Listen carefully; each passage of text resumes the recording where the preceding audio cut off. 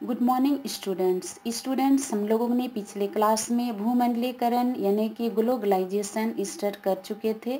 इसमें से भूमंडलीकरण की भूमिका, इसका क्या अर्थ है, इसके बारे में हम लोगों ने अध्ययन कर चुके हैं। स्टूडेंट्स चलिए आज हम लोग पढ़ेंगे भूमंडलीकरण की परिभाषा क्या है। भूमंडलीकरण की परिभाषा विभिन्न विद्वानों ने भिन्न भिन्न रूपों से परिभाषित किया है।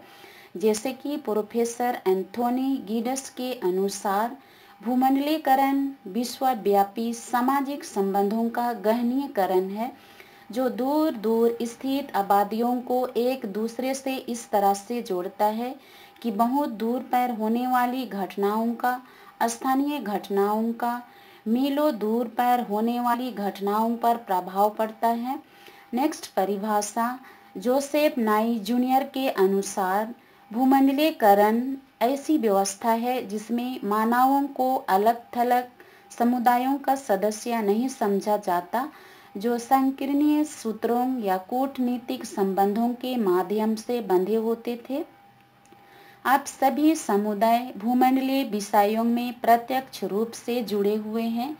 नेक्स्ट, वैश्वीकरण और उसका क्या प्रभाव है? पहला वैश्वीकरण का प्रभाव?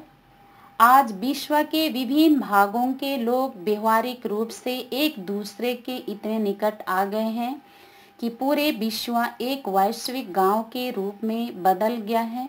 जैसे इंटरनेट के माध्यम से एक सेकेंड में ही विश्व के किसी भी भाग से संपर्क किया जा सकता है। दूसरा प्रौद्योगिकी और संस्कृति का वैश्वीकरण।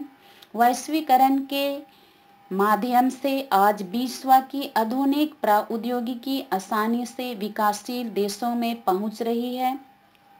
समाचार क्रांति के सहयोग से उत्पादक के संबंध में जानकारी आसानी से उपभोक्ताओं के पास पहुँच रही है। आज दूरदर्शन, इंटरनेट, रेडियो, समाचार पत्र और प्रिंट मीडिया की पहुँच से अब देश में ही नहीं, बल्कि विश्व के कोने कोने में फैले उपभोक्ताओं तक पहुँच रही है। इनके माध्यम से विभिन्न संस्कृति से जुड़े रहे हैं। तीसरा, गरीब पर वैश्वीकरण का प्रभाव।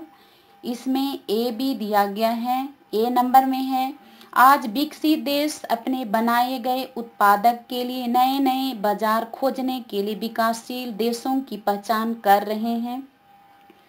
और उन पर बदल डाल रहे हैं कि वे अंतर्राष्ट्रीय बाज़ार पर से सभी प्रकार के प्रतिबंध हटा लें, क्योंकि विकासशील देश द्वारा ऐसा करने पर इससे संबंधित देशों के गरीबों पर इसका विपरीत प्रभाव पड़ता है, क्योंकि वहाँ डॉलर की तुलना में गरीब लोगों की वस्तुएँ काफ़ी सस्ती हो जाती हैं, जिन्हें बाद में बहुराष्ट्रीय कंपनियों द्वारा खरीद लिया जाता है।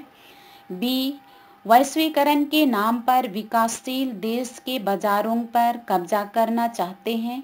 आज विकसित देश विकासशील देशों पर बल श्रमिकों समाप्त करने पर ज़ोर ज़ोर डाल रहे हैं, जबकि बल श्रमिक अमानवीय है और ज़्यादातर बल श्रमिकों संबंध गरीब परिवार से है।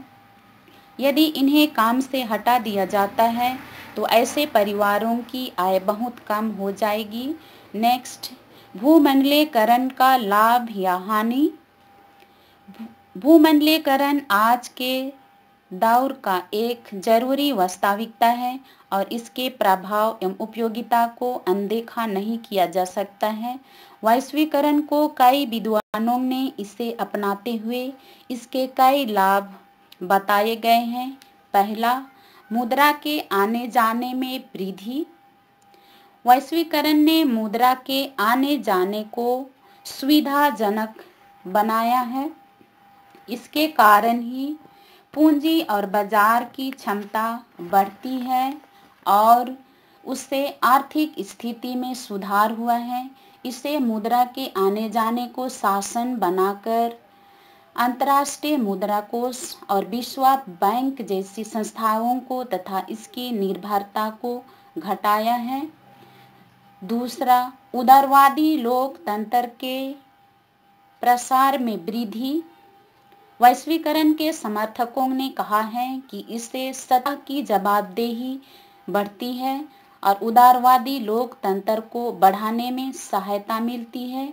तीसरा भूमंडलीय व्यवस्था का निर्माण, वैश्वीकरण के माध्यम से भूमंडलीय इलेक्ट्रॉनिक व्यवस्था का विस्तार हुआ है, जिससे आने जाने में विचार प्रकट करने एवं कई प्रकार के संदेशों को जानने, सुनने का अवसर मिलता है। चौथा, नए सामाजिक आंदोलन। वैश्वीकरण के कारण कई नए सामाजिक आंदोलन हुआ। विशेषकर महिलाओं, किसानों, कई प्रकार के समुदायों, एवं विस्थापित लोग सक्रिय हो गए हैं। पांचवा, सांस्कृतिक का भूमंडलीय स्तर पर प्रभाव। सांस्कृतिक क्षेत्र में वैश्वीकरण के प्रसार एवं वृद्धि को संभव बनाया है, जिसमें कई पत्रिका, संगीत, नाटक, सिनेमा, रेडियो और टेलीविज़न शामिल है। छठवां, विश्व की विभिन्न संस्कृतियों का आपस में बढ़ता हुआ तथा मेलजोल वैश्वीकरण के कारण संचार क्रांति के बढ़ने से विभिन्न संस्कृतियाँ विश्व के कोने कोने में पहुँच गई है। इससे वैश्विक भाईचारे की भावना बढ़ रही है। सतवा, वैश्विक गाँव की कल्पना साकार हुई। वैश्वीकरण के कारण अनुसंधान और विकास में विश्व के लोगों का एक दूसरे कि इतना नज़दीक ला दिया है कि तकनीकी रूप से आज पूरा विश्व वैश्विक गाँव में बदल जाता है। क्या विश्व की मानवता के लिए वरदान के रूप में है? नेक्स्ट है, भूमंडलीकरण के दोष भूमंडलीकरण के, इसके परिणाम स्वरूप बेरोजगारी काफ़ी बढ़ गई है।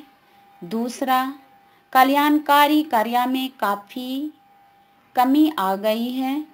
तीसरा, विदेशी निवेश की शक्ति बढ़ रही है। चौथा, निजी संपत्ति एवं उसे जमा करने पर विशेष बल दिया जा रहा है।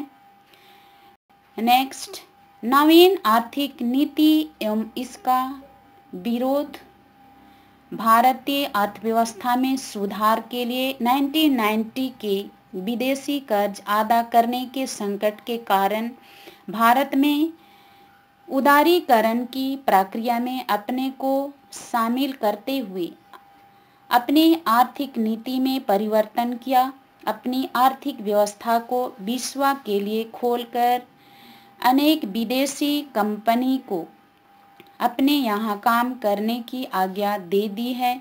अनेक लोगों ने नई आर्थिक नीतियों का विरोध किया।